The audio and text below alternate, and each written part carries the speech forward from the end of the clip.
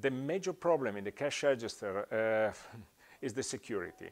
It depends uh, it depend of the countries because some countries require some uh, security or a few security, other countries require, require high securities.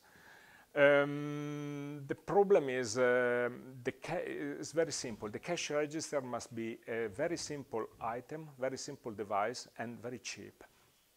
And the user uh, must be have this cash of register in hand, and uh, the technology on the cash register, cash register must prevent the fraud.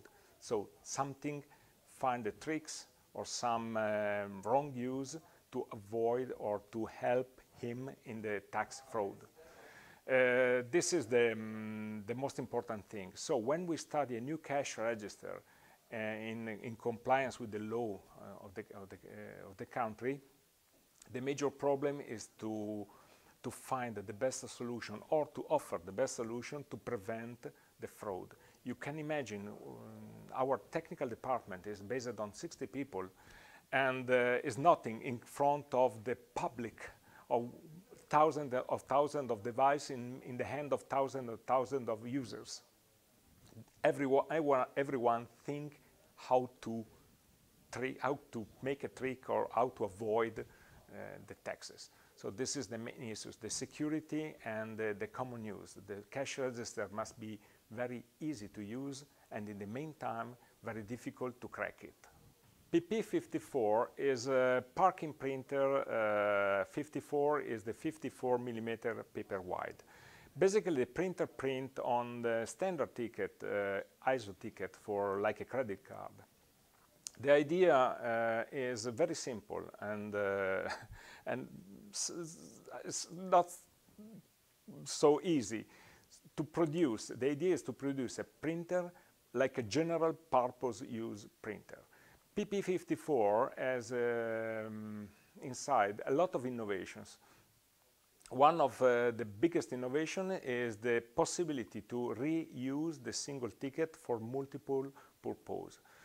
Um, another innovation on PP54 is, um, is to prevent the, the user to assemble the system with the, uh, other computer. I try to explain.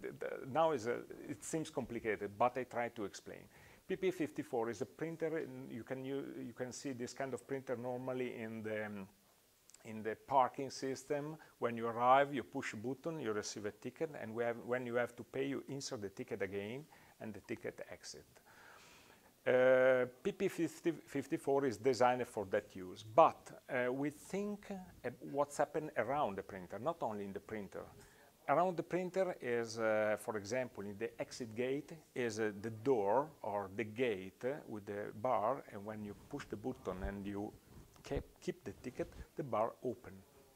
So the user what have to, what the user must be do buy a, a printer, then buy another control board, and um, like a computer, and the instruction on the control board is uh, to print the ticket, open the gate, release the certificate to the user, and so.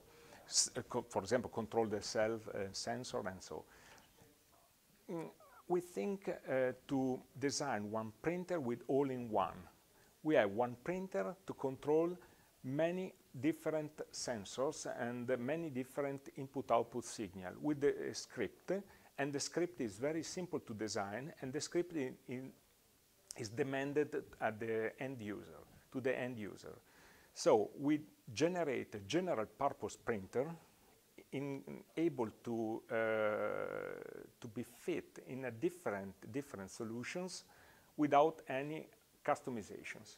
This is the secret of PP54. PP54 is not for only for paper, but is for card, credit card, contactless, recycling paper, recycling cards, and uh, very simple to use. And with one script, you can adapt the printer everywhere.